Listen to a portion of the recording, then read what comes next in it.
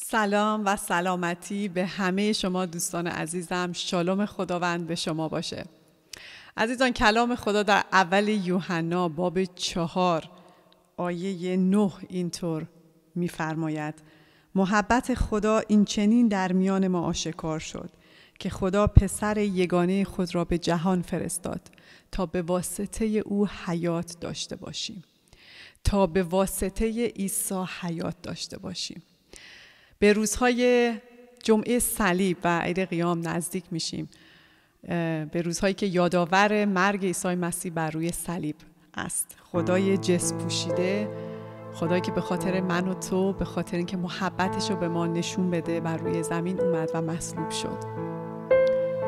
خداوندی که بدین وسیله گناهان من و تو رو بخشید و به ما یک آغازی نو هدیه کرد و یک پایانی نو هدیه کرد. حیات ابدی و جاودانه.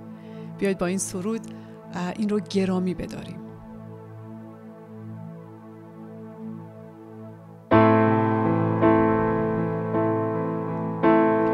محبت خدا در صلیب عیسی بهر ما شد عیان. مهر وی در جهان.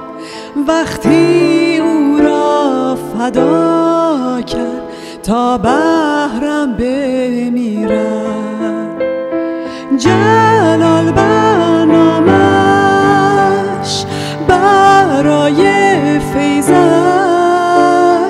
آنقدر دوست داشت جهان را که بخشید فرزندش.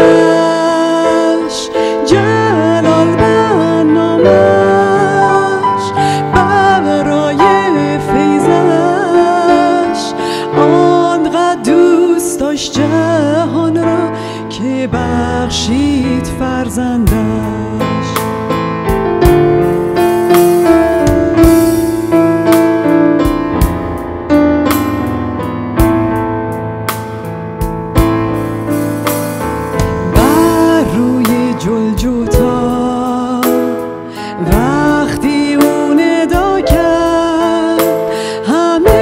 چیز تمام شد.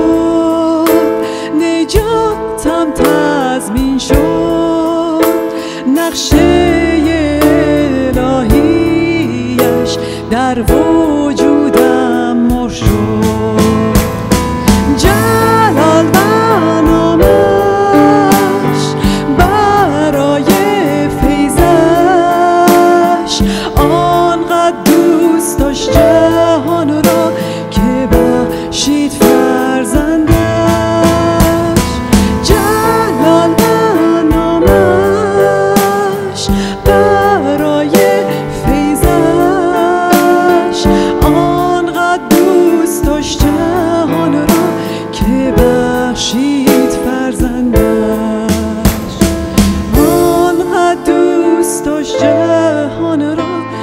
که بخشید فرزندش